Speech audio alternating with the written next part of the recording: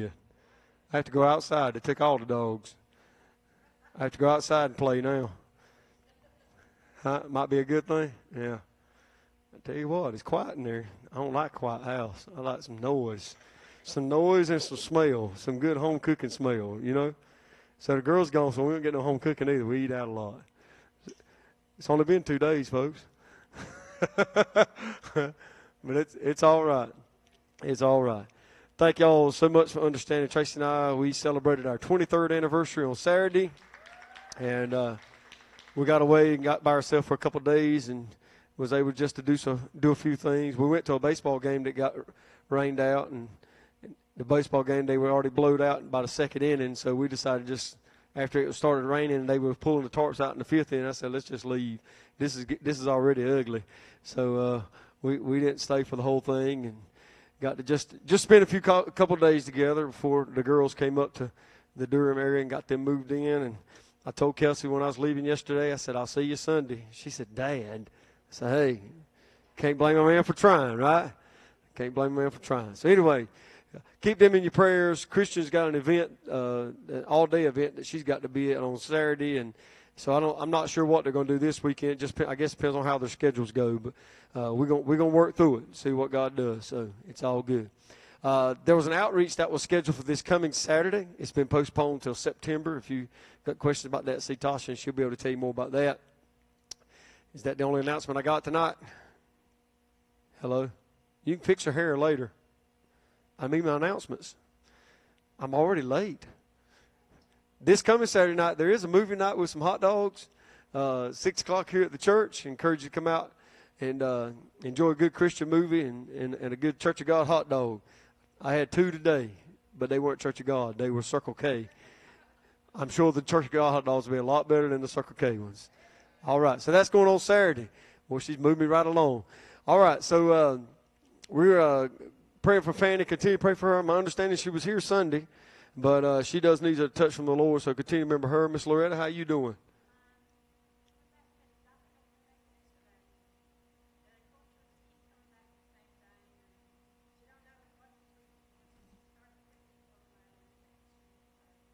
That's why they call it practice. They're going to figure it out one way or the other. The doctors ain't fixing, they're practicing. So uh, just continue. So it, they're thinking that because of your bladder issues might be causing your back issues. Is that right? Okay. All right. So they're shooting in the right direction anyway, right?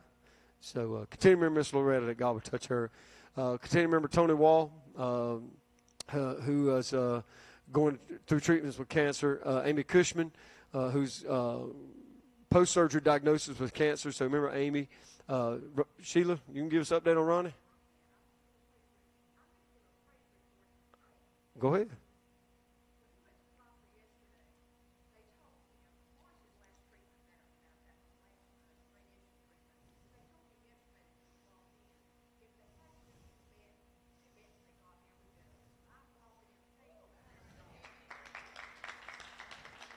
So they're betting and you're believing. All right, we'll take that. Let them bet. We'll believe. Thank the Lord for that. So continue to remember uh, Ronnie. Odell Hester's also continued to uh, fight cancer, so remember him. George Fisher, uh, Tab's uh, biological dad. Um, I think we take him off. They sent him home. Uh, uh, what Tabitha told us. So uh, we just continue to pray for him, but they, they did send him home. Was that what we heard? I thought so. So Nancy uh, Baylock is not doing well, needs salvation. Arthur Wright is dealing with stage four lung cancer that they cannot treat, but God can. And so we're praying for that. Edwin Huffman, who's uh, awaiting a parole board decision. Uh, Eddie, you got an update on Eddie, Bill Mike?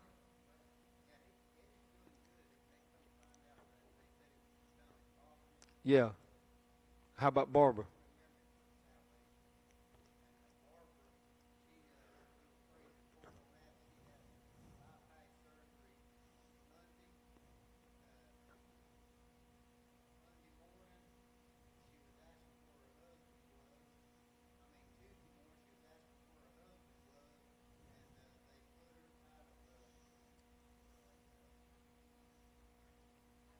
I see you.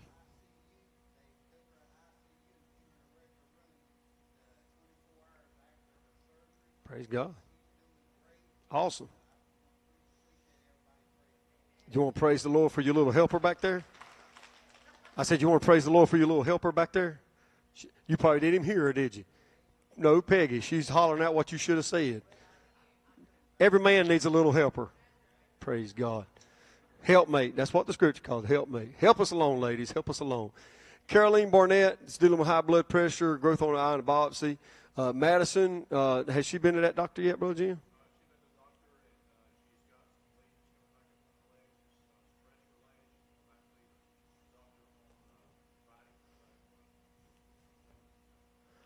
All right. Uh, Shirley Goodson, who's uh, Gina Baumgartner's mom, dealing with COPD. Um, for those of you who don't know, Marcus was with us last Wednesday, and uh, we prayed with him after the service and just believing for the Lord to touch him. And by Friday, I had him with Eddie James. He is at, he's in Cleveland, and uh, I called Eddie, and Eddie said he would be glad to take him. And Marcus said it is uh, a world of difference for him up there, uh, which uh, you know, a lot of people may or may not like Eddie's ways of doing things as far as music and things like that, or dance teams and stuff like that. But one thing I can say for him, he pulls them out of the world, submerges them in the Word and prayer, and saturates them in that, and just takes out the elements to give them to a place that they can just focus and do what they need to do. And so uh, I thank God for His ministry and and and just the fact that He's taken Marcus in and and um, uh, Tracy's texted back with him a couple times. I don't know if you had much communication with Sister Brenda. He seems to be doing a world of difference for him, man, and just in a week's time. Uh, so we thank the Lord for that. Just continue to pray for him uh, that God will continue to touch him. Uh, Tommy Sigmund, um, we, have gotten a couple phone calls for Tommy. This is uh, Sister Sheila Rutledge's daughter, uh, who is in the ER with such just severe back pain. Uh, not really sure what all was going on with her, but just continue to remember her, if you will, that God would touch her and minister her. Also talked with Angie McFarland yesterday about Mike. Um, they're actually getting ready to start doing some treatments on him uh, for this esophageal cancer that he's got. Uh, they're taking it a day at a time. Uh, Angie says she can feel the prayers. Uh, she said, if one thing good has come out of this, she said, I just don't believe uh, that, uh, that God does some of the things that we give him credit for, and the devil does things that we just kind of throw off on other people. She said, but one good thing come out of this she said, Mike has absolutely submerged himself in the things of God. His word, she said he's spending three hours a day reading his Bible and praying and seeking God's face. So um, um, his daughter asked him the other night, said, Dad, uh, when you come out of this, what are you going to do? He said, I can tell you what I'm not going to do. I'm not going back to serving the devil. He said, I'm going to continue serving God. So uh, I thank the Lord for that. Uh, but continue to lift them up in prayer, if you will uh, that God would touch them and minister to them. Uh, just before service, my mom actually, my mom sent me a text yesterday. My dad, um, uh, who's very hard headed, if you don't know it, uh, just look at his son, and uh, it's a chip off the old block. But um, my dad's, who's supposed to be retired from fire and rescue, uh, went on a rescue call on yesterday, I believe it was. And some, somehow, in the midst of trying to help the person that was in the wreck or however it was, he banged his leg against a bridge, concrete bridge, and uh, did a lot of bruising and severe damage. Uh, my dad's on blood thinners because of his heart condition. He lost two units of blood uh, from that. They've um, they've they've sent him home, told him to keep his leg up. Uh, I mean, his from his knee to his ankle is blood red. I mean, it's just completely red from bruising, and and it's not like dark bruising. It's bright red blood bruising. It's and and it's just oozing and carrying on. So to the point that he's got blisters, blood blisters that are popping up on his skin. Uh, I'm not telling you that to gross you out. I'm just telling that because that's where my dad's at, and uh, uh, I do appreciate your prayers for him, um, for his leg, and then also for that other part of his body a little further up, his head, uh, that he will be wise and uh, doing what he needs to do and realize he's not 35 years old anymore uh, and jumping out there and doing some of the stuff he's doing. My dad's got a heart the size of this room and will do what he's got to do to help anybody. Uh, and I think that's why he loves the fire and rescue. He's been doing it as long as I can remember, but just going and, and putting himself in harm's way. And I shared this uh, last week when I was, uh, week before last, when I was preaching about saving people from the fire. Uh, that's just my dad's attitude. He'll put his life, his stuff, his things on the line all day long to go and help somebody else. But um, uh, just from the loss of blood. My mom said he's dealing with a severe headache and uh, just dealing with a lot of pain from that. Uh, so if you would just remember my dad, that God would touch him and minister to him. Did I cover everything? Somebody else got, got something? Yes, sir.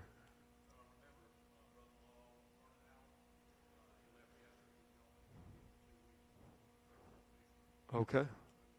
All right. I remember him being on the list for something before, but uh, remember Vernon.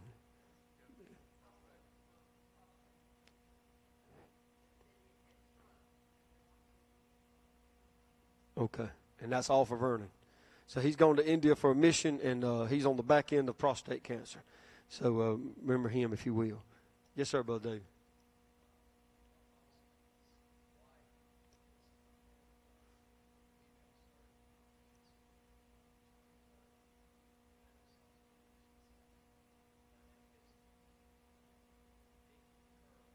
Vicky Curley. She's having a, I'm assuming you're saying a hysterectomy for uh, cancer. All right. So remember Vicky Curley.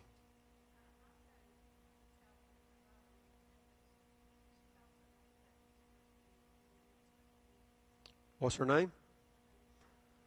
Melinda Backstrom for a hysterectomy here in the next couple of weeks. So remember this, if you will, that God will touch her and minister her. A lot of requests, a lot of needs, but a big God. A big God. Faithful God. God that's always on time, can do the impossible, and make a way where there seems to be none. Amen? Amen. A faithful God. The devil would love, and I'm kind of picking up where I left off last week, the devil would love to take all this stuff and just berate you and beat up on your mind and your thinking and your thought process and try to get you where you're doubting and in fear and worrying and stressing. But my Bible tells me to be anxious for nothing.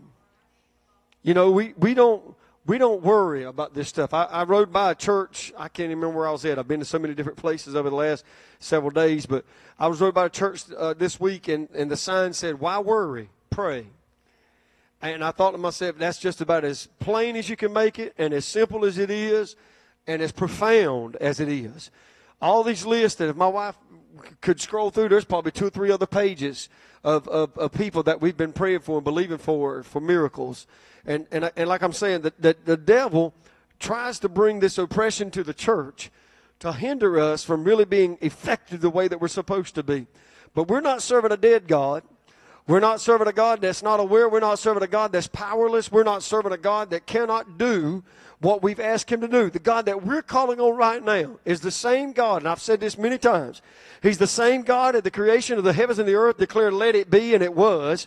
The same God that spoke to, to Red Seas and they opened up and parted with dry ground he walked across. The same God that spoke to lions that became pillars for Daniel. The same God that spoke to a fire and told the fire, don't you burn my prophets, don't you burn my servants. And it didn't touch Shadrach, Meshach, and Abednego. The same God that testified, put this body in the ground, in three days I'll raise it up. The same God that on that third day that got up with resurrection power, as Malachi declared, with healing power in his wings. That same God is the same God that we have the audience of right now. That when we call on his name, he said, I will show you great and mighty things that you know not of.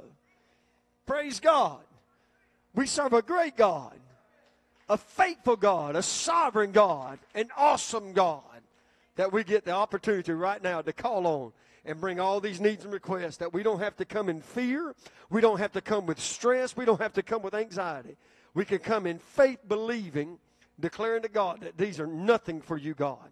And we call on you right now. Would you pray with me, Father? In the name of Jesus, the name that is above every name the name that every knee is going to bow and every tongue is going to confess that Jesus Christ is Lord. The name that demons tremble and flee. The name of Jesus that sicknesses are healed and bondages are broken and addictions, God, are taken down. God, I thank you for that. Every high thing that exalts itself against you, oh God, we can cast it off and take the authority that you've given unto us. It's the declaration of that name that we can bind things that need to be bound and loose things that need to be loosed. What a powerful name, the name of Jesus. Jesus. God, that we can call on you in faith, believing and trusting, God, that you will perfect that which you've begun in us against the day of Jesus Christ. God, those things that we've committed to you, God, you will perfect them in our lives. Thank you, Jesus. Thank you, Lord, that cancer is not so big that it cannot fall at the name of Jesus. Thank you, Lord, that heart disease and kidney issues and bladder issues are not so big that the declaration of your name that those things cannot be healed. By your stripes we were healed. Healing is ours if we can just receive it and believe it. I pray tonight, God, for every need and request that's been mentioned, for every need and request that's represented in this room, for every need and request that's on our list. God, we pray for healing tonight. We pray for deliverance, God. We pray for bondages to be broken and addictions, God, for them just to fall off people, that they lose the very taste and desire for the things that are not of you. God, that they would taste and see that the Lord is good. God, I praise you tonight for the promise of your word. I praise you tonight, God, for the goodness of your glory. I give you all the glory and all the honor and all the praise for the great things that you're doing, God. I bless your holy name tonight. Father, I ask you as we go into this time of your word, God, that you would give us the great wisdom that we need, the understanding, and, and the humility, God, be able to handle your word with, with carefulness, but God, with boldness. To God, to be able to, to, to show and demonstrate through your word your great power for all that you've done and all that you're about to, God. We give you the glory, the praise, and the honor. Bless our teachers tonight, those that are teaching our kids, our young people, our children. God, I pray that you would minister through them and use them in a powerful way. God, as they bring forth the word to our classes. Father, I love you so much. I give you the praise, the glory, and the honor, and all these things God's people said. Amen. Amen. So, last Wednesday night, for those that, of you that were here, we have been talking about a prophetical review of the church. And we're in chapter 12 of, of the book of Revelation. And in this particular book, just a very quick uh, over, overview of what we've been talking about. We, we, we've talked about within this, this chapter, the, beginning with the first verse, it talks about the woman that was clothed with the sun, how that some people look at it as an allegory of the church, but more prophetically about Israel and how that Israel was that woman that was clothed with the sun and, and, and, and her portion in, in, in, in prophetical works by God and, and the condition of this woman that she was a, with child that crying and travailing in birth, as it tells us in verse 2 that she, she was pained and distressed to be delivered or to bear this child that she will. But in the midst of this, this, this pregnancy, in the midst of this, this childbirthing, we see a devil, a red dragon that comes up in verse 3. The second sign in heaven that there appears another wonder, wonder in heaven, and behold, a, a great dragon having seven heads, ten horns, seven crowns, or the Greek says diadems or monarch crowns upon his head. And so this dragon, Satan, that we, we talked about over the last couple of weeks, and the things that he's doing, the governing power, the, the, the rulership that he has here in this world, the things that he is trying to accomplish, the mischief of this dragon that we see in verse 4, where he takes his tail, and with this tail, a, a, a third portion uh, of, of the uh, stars of heaven did cast them to the earth. And the prophetic word that's being brought here to John, as we see Satan that fell in uh, Isaiah chapter 14, we see the fall of Satan, how he took a third of the angels with him. And, and now all of this is, is beginning to come to pass. And John's beginning to see this in this particular vision. He, he attacks the church. We see it in the last portion of chapter 4, and this is where we ended up last week, that the dragon stood before the woman which was ready to be delivered uh, uh, to devour her child as soon as it was born. The, the devil, and, and I went back and I kind of re-listened to my message from last Wednesday night, but the devil wants to destroy you. The devil wants to steal from you. The devil wants to kill you. The devil wants to manipulate you. He wants to mess with your mind. He wants to mess with your thinking. He wants to mess with your faith. He wants you to walk by sight and not by faith. He wants to get your eyes on your circumstances and on your stuff. But this is where we as people of God have to be determined to keep our focus in the place that it must be. We have to be focused on the Lord God Almighty. We have to be focused and look to the hills from whence cometh our help. Our help comes from the Lord. And so this is the place that we need to focus. The devil wants to do everything he can to see that wayward son or that wayward daughter or, or see that husband or that, that, that wife that's backslid and falling away from God. The devil wants us to do everything we can to keep our, ver- our vision horizontal when we should have our vision vertical, that we're looking to God, that we're looking to Him as the author and the finisher of our faith.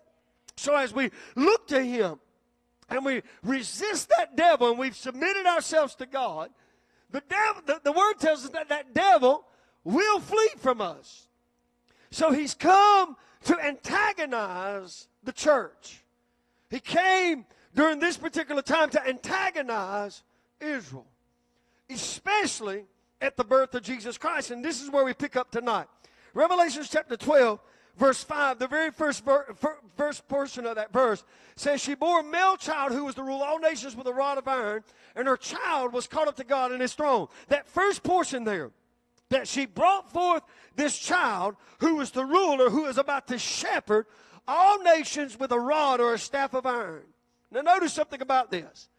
The Bible's very specific to note that it's a male child. The Old Testament church brought forth Christ, the Messiah, the male child.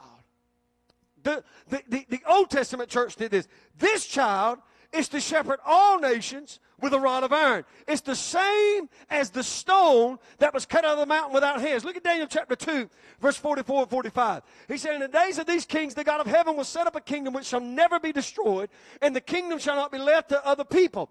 Verse 45, or the rest of this verse. It shall break in pieces and consume all the kingdoms, and it shall stand forever.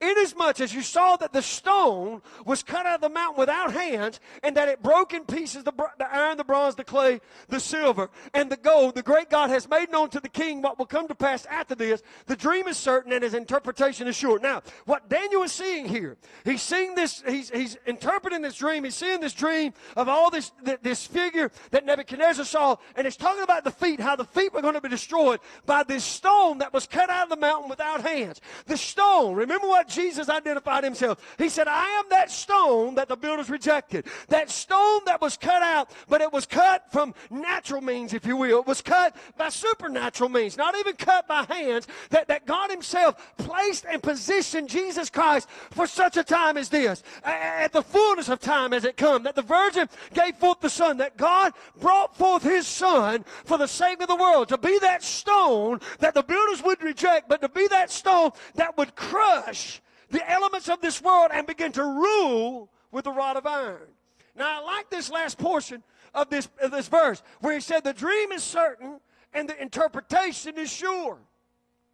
Basically, what Daniel's saying here is this what God says, God means, and if God said it, it'll come to pass. You can take confidence in the word of the Lord. You can take confidence in the things that God has spoken. You take confidence in the fact that even as we're reading the book of Revelation and we're looking especially in chapter 12 as it concerns the church and the fight with the devil, you can take confidence in what Jesus said unto Peter, upon this rock I will build my church and the gates of hell shall not prevail against it. So what am I to do? I'm to stay in the boat. I think about Paul when they were fighting Euroclydon, and, and, and Paul stood up and said, Be of good cheer, men and brethren, for, for there stood by me this night the angel of God, and, and, and I believe it even so as he told it unto me. He said, There shall not be loss of any life, but only of the ship. But the main thing was, they had to stay in the boat. The men came and began to try to get out in the lifeboats, and, and Paul said, If anybody leaves, they'll be destroyed.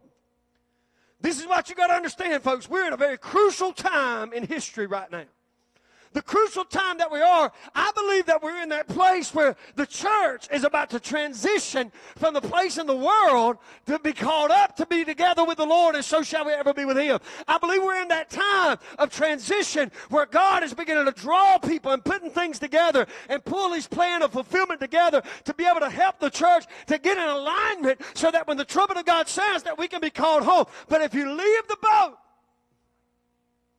if you leave the house, you very well could be left behind. So the understanding is if you don't want to face the gates of hell and find destruction, stay in the boat, stay in the house, stay in the church, because it's a place that is founded upon the rock that is not cut out by hands, but is founded on the rock Christ Jesus. And in that place, you will find safety and you'll find refuge. Even David understand this. He said, when my heart's overwhelmed, lead me to the rock that's higher than I, and there I'll be safe. Listen, folks, there's been times my heart's been overwhelmed with worry and anxiety and junk and stuff of this world, but I've crawled up into the lap of Jesus and put my arms around him. And it's in that place that I find peace. It's in that place that I find safety. It's in that place that I find refuge because I know beyond a shadow of a doubt that my God will fight for me. And if God is for me, nobody can be against me. Praise the Lord this stone that's cut out of the mountains without man's without hands daniel chapter 7 verses 9 through 14.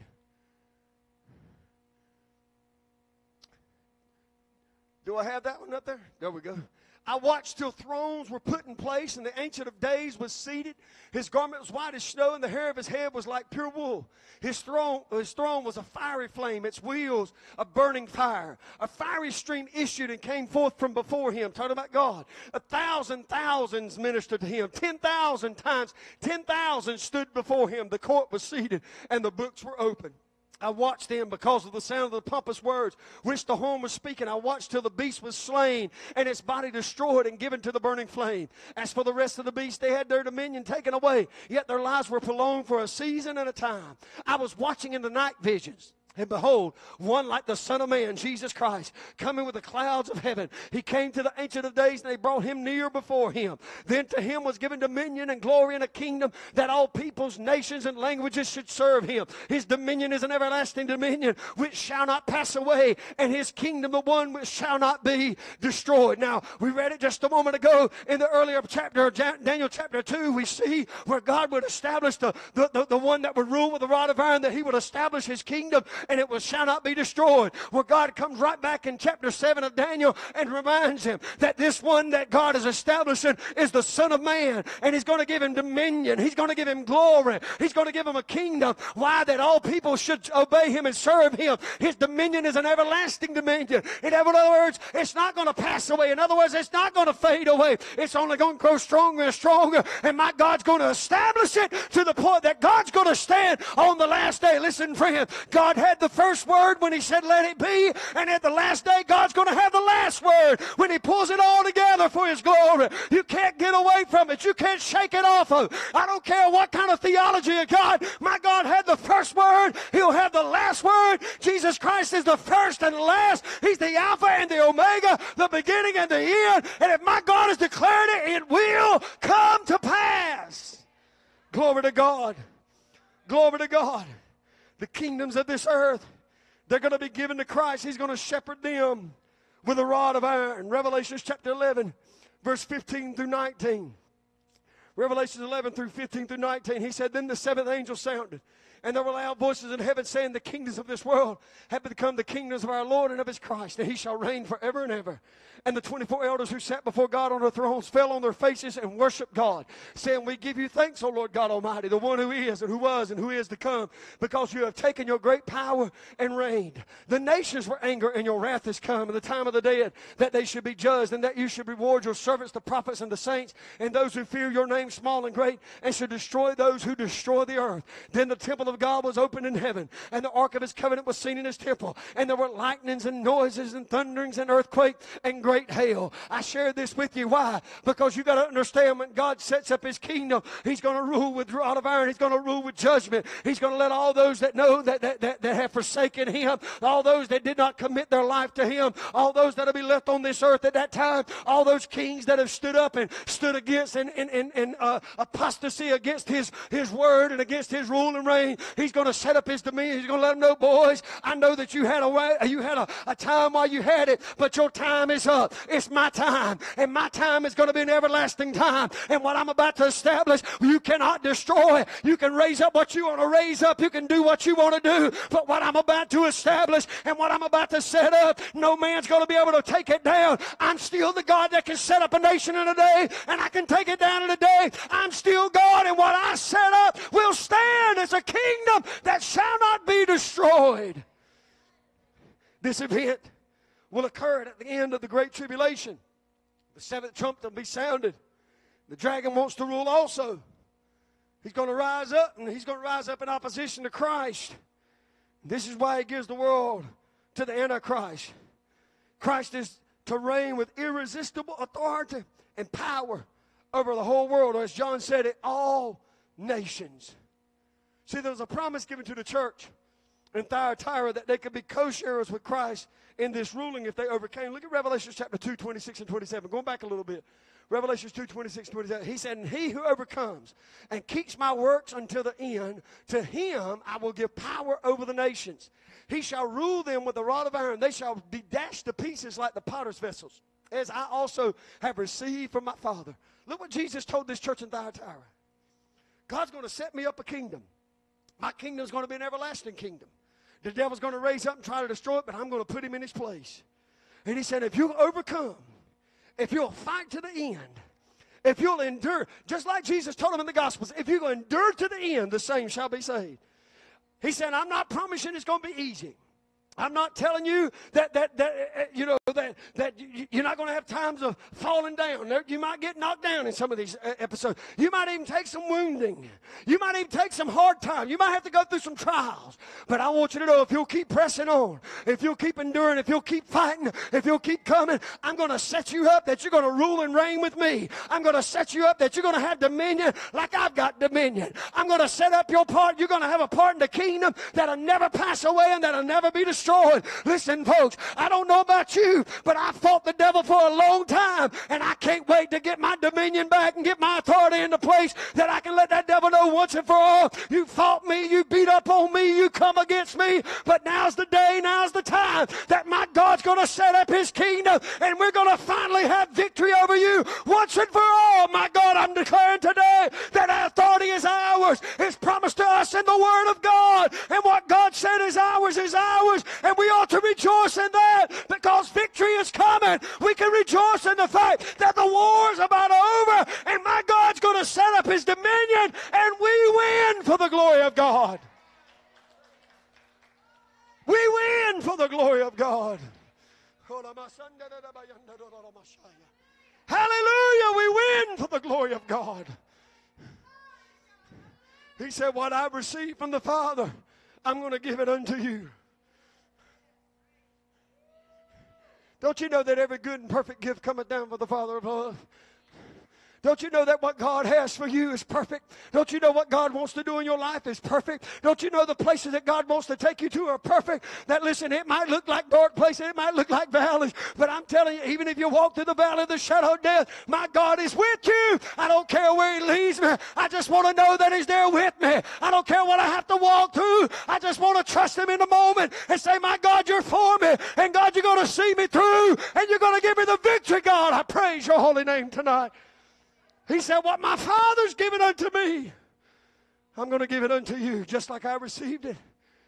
And what all the enemies tried to set up, I'm going to dash it to pieces. Every plan is going to be thwarted. Every scheme is going to be brought down. Every carnal weapon is going to be destroyed. Every bow that the enemy tries to pull his arrows back with are going to be snapped in two.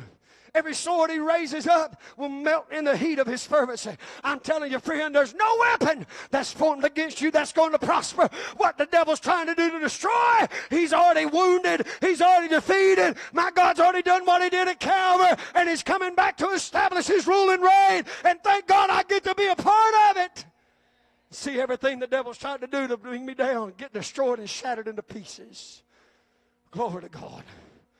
Glory to God. I, I, wonder sometimes if some of the Old Testament prophets and men of God that were there, they, they saw the abilities of God to cause enemies to fall down at their feet. David talked about how he would call his enemies to fall down at his left hand, 10,000 in his right hand. God said, I, I, I'll, bring them, I'll bring those enemies down. I, I'll even prepare a table before you in the presence of your enemies. We're going to have a table in those seven years, folks. There's a supper coming. I don't know what they're serving, and I could care less. I know there are people say, oh, I can't wait to get there to get the fried chicken and the watermelon. I don't care. They can serve a big platter of green beans. Let me show up. As long as I let Paula cook them. I'll, I'll eat hers. I don't care what they put before me. I just want to be there. Praise God. I want to be a part of this winning uh, uh, victory that God's going to produce through His Son Jesus Christ.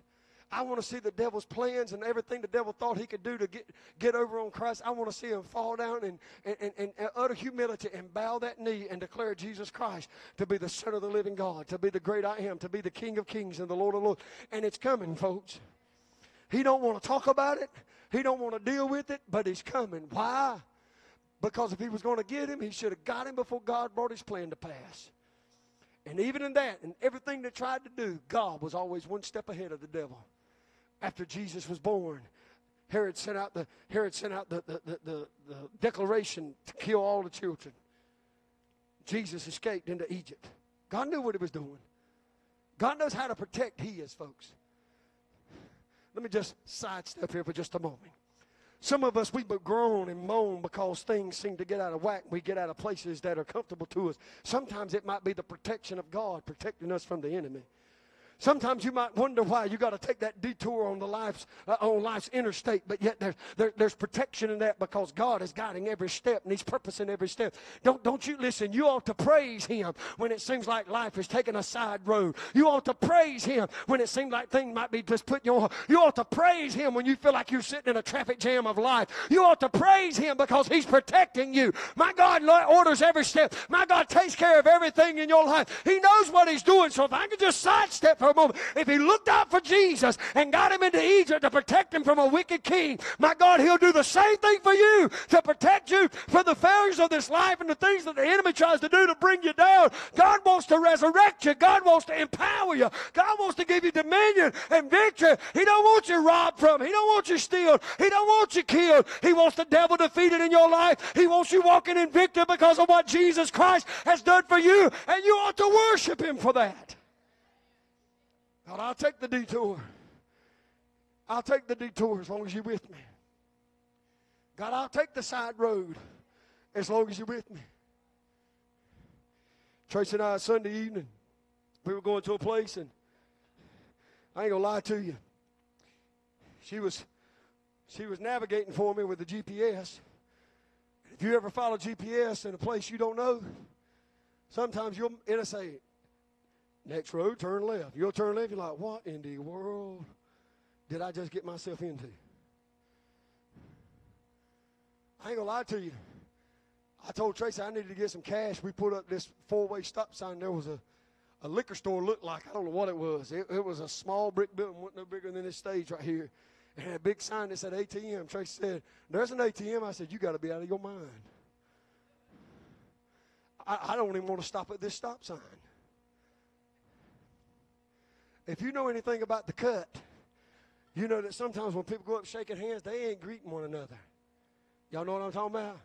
They ain't greeting one. This young fella walked over and shook this old fella's hand, and they held hands for just a little bit. And I was sitting there thinking to myself, they just passed drugs right there. I guarantee you.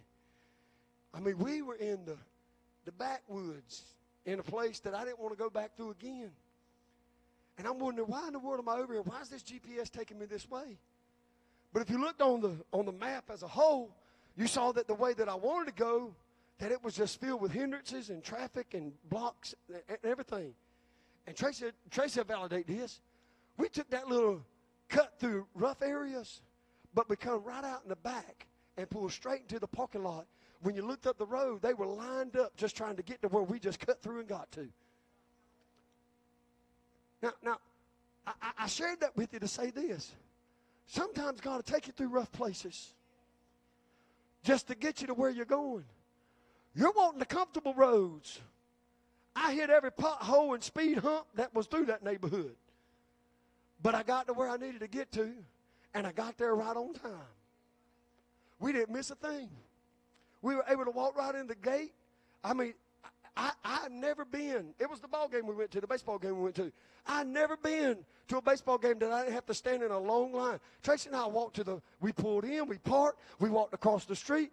I had my tickets on the on the cell phone. I mean, I walked up. There was two people in front of us. He sent one of them away, and the other person he let walk on through. Click, click. He clicked on my phone and and and, and got my ticket, and we walked right in straight to our seats. Well, not straight to our seats. We we toured the stadium. Let's put it that way, but because we didn't quite know how we was going to get to our seats, but we found it.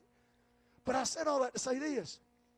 We, we had to go through some rough places to make better time.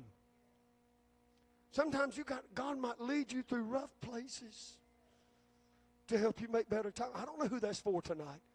Maybe you're in a rough patch somewhere and you're saying, God, why am I over here? But God's got a plan for you. You got to trust Him even in the rough moments when it ain't all working for the way that you thought it would. When you when you want to be on the interstate traveling at 70 and God's got you on a back road doing 15. And you're saying, God, why am I over here? I got you. Don't worry about it. Just keep moving. There's a couple times we got traffic jams, and I, Trace, Tracy's like, "Oh, we we got to get out of this," and I'm we moving. I remember one time I said, "Don't worry about we moving. We might be doing 30 in a 60 mile an hour zone, but we moving." So, sometimes you just got to be content with the fact that you're moving. Amen. I know the enemy wants to throw hindrance in life, but sometimes you just got to keep moving. You might you might be moving at a snail's pace, but one step's forward's forward. It ain't where I used to. God, it ain't where I used to be. It ain't where I used to be stuck in. But I'm moving forward. I might not be moving faster than everybody else around me, but I'm moving forward. Listen, friend, that's what it was about Jesus. When Jesus came to this earth, it didn't happen right away. They thought that the king was coming. He was going to come in as a full grown adult. He was going to set up his kingdom. And we're still waiting on him to establish that kingdom. They thought he was going to do it when he came the last time. But he's going to do it when he comes the next time, folks. And he's not coming back as a baby in a manger. He's coming back as King of kings and Lord of lords, riding on that horse with complete victory. I'm telling you, friend, I thank God I'm on the winning side. I'm on the winning side. So here we see it in Revelations 12, verse 5 again. That last portion of that verse. That the child was caught up unto God and to his throne. So this this prophetical review of the church they're beginning to see from the conception of Israel and the conception of, of, of Christ, the man child that was birthed into Israel, to set up to rule with a rod of iron. And now the Bible says in this last part that he was caught up to God and to his throne. Now, obviously, this is a moment of looking back to Jesus being resurrected and ascending to the heavens. Let's look at a few scriptures about this. Mark chapter 16, verse 19. The Bible said, Then after the Lord had spoken to them, he was received up into heaven and sat down at the right hand of God. John saw this. John was there a part of this, and now God's bringing it back to him in a vision. In Luke chapter 24, 49 through 53, we said, Behold, I send you the promise of my Father upon you, but tarry in the city of Jerusalem until you are endued with power from on high. And he led them out as far as Bethany and lifted up his hands and blessed them. Now it came to pass while he blessed them that he was parted from them and carried up into heaven. And they worshiped him and returned to Jerusalem with great joy and were continuing in the temple praising and blessing God. Amen. He was caught up away from them in Acts chapter 1, verse 10 and 11, another verse of scripture that describes this. And while they looked steadfastly toward heaven as he went up, behold, two men stood by them in white apparel, and who also said, Men of Galilee, why do you stand gazing up into heaven? This same Jesus whom was taken up from you into heaven will so come in like manner as you saw him go into heaven. In other words, those angels declared, You saw him go, but he's coming back. He's coming back. You know, I believe every Christian ought to take this verse right here and put it on their refrigerator to remind themselves he's coming back. I, I believe every Christian ought to be reminded. Because I want to tell you something. There's a lot of Christians that's lost hope. But this verse right here is my hope. The declaration of the angel, who I believe was speaking on behalf of God, said, He's gone, but He's coming back. That's what helps me to keep going, folks. Thank God for His birth. Thank God for his birth. Thank God for Christmas time. I love it. Can't, can't, can't thank God enough for it. Thank God for Friday before Easter. His death on the cross, the shed blood of Jesus Christ, who, who's, who, washing uh, of, uh, of, of his blood takes away my sins. Thank God for the resurrection. Thank God for the empty tomb. Easter Sunday, we celebrate it. Thank God for that resurrection Sunday. Thank God He's not there anymore, that He ascended to the right hand of God and is seated at the right hand of the Father. Thank God for that. But my hope is the fact that He's coming again. That's what I'm pressing for. I, I, I, thank God for the cross, but man, my sins are washed. I'm walking on. I thank God for the resurrection power in the empty tomb. And, and I know that if I die and go by the way of the grave, that I won't lay there alone, that soon and very soon He's going to call me home. But my hope is just to keep on pressing because if I can keep on pressing, not only will we have what I talked about a moment ago, we'll have dominion with Jesus Christ, but what we'll also have is resurrected, glorified bodies that we'll have these new temples that we'll get to worship and honor and glorify Him, that we're not going to be wore out, we're not going to cry, there's not going to be tears in heaven, that God's going to help us. We're going to have these glorified bodies that we get to go and be with Jesus. He's coming again. We can't lose sight of that, folks. In everything that we do, He's coming again. I, I want to close with something. I, I, I didn't get near done what I needed to, but let me, let me close with this.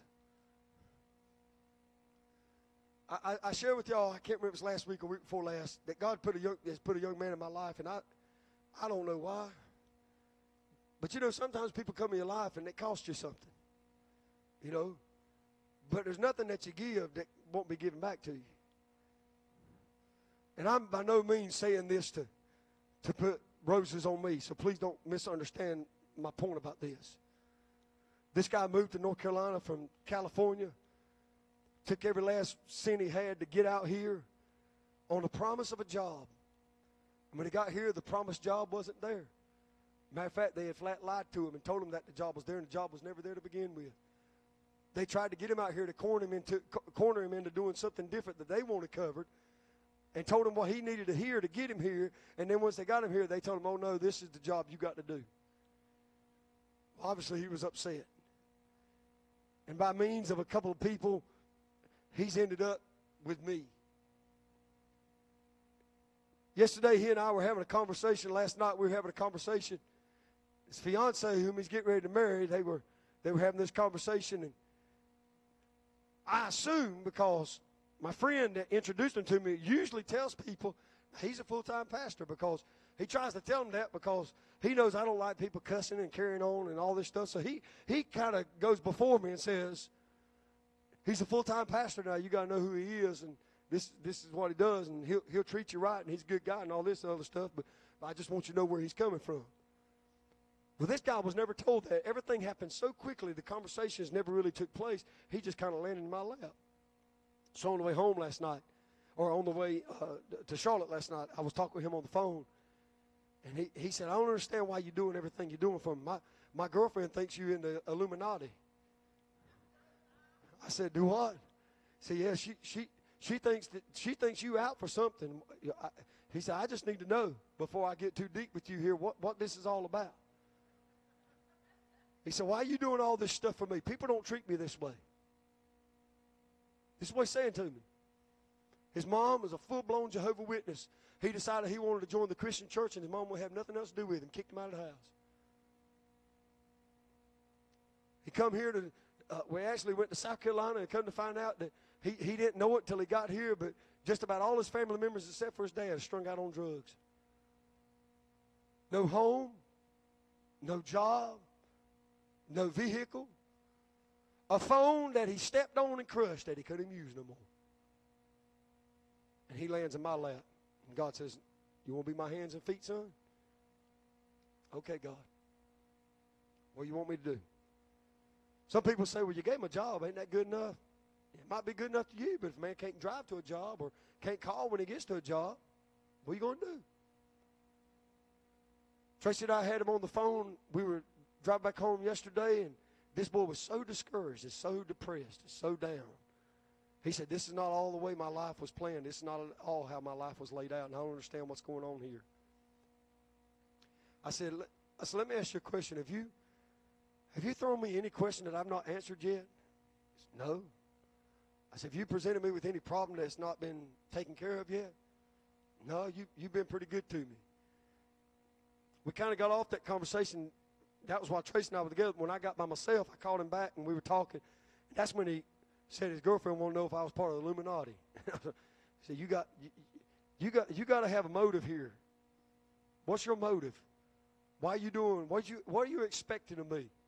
I said, Well, honestly, I'm expecting a good day's work. If you give me a good day's work, I'm gonna take care of you. He said, But why, why are you motivated to help me?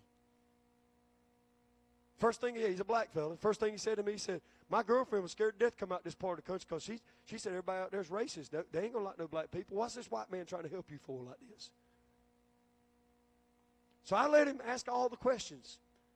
And when he got done, I said, His name's William. I said, William, first and foremost, I'm a Christian. I'm a child of God. I said, I'm also a pastor. He said, Woo!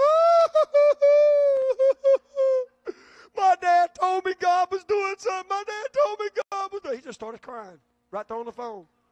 My dad kept telling me God was doing something. I didn't understand it. My mama kicked me out because I wanted to go to the Christian church. My dad kept saying, That's God, son, that's God. And my girlfriend said, Ew, it's Illuminati. I didn't know what to believe.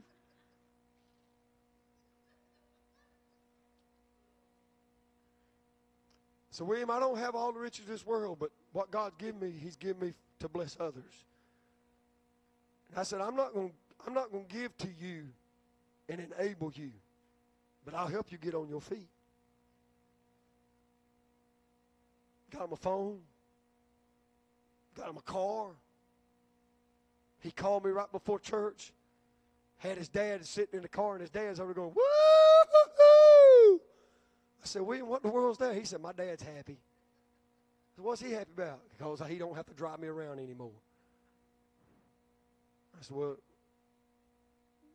so many payments and it'll be yours. I said, but you're going to work for it. Because, you know, this is my belief, folks. You can give a man a fish, he'll eat that day. But you teach a man to fish, he can eat the rest of his life. I don't mind helping anybody. But I'm not going to enable people to stay in their misery because some people are conditioned to stay in their misery because they like being miserable. But when you run along, when you run into some people like Williams that's just saying, hey, I, I've got a bad break here, and if I can just get out of this, I'm going forward. And you give them a hand and say, you don't have to stay in that hole because I've been there and I knew what it was like. You can get out of this mess. And I don't know where this relationship's going. I know what I'm going to represent. Matter of fact, he told me, he said, I want my family, I want us to get together and come to your church. I said, Well, you got a car now. come on to church, buddy. You need some gas money? Call your boss man. He'll hook you up, especially if you're coming to church. Jesus is coming.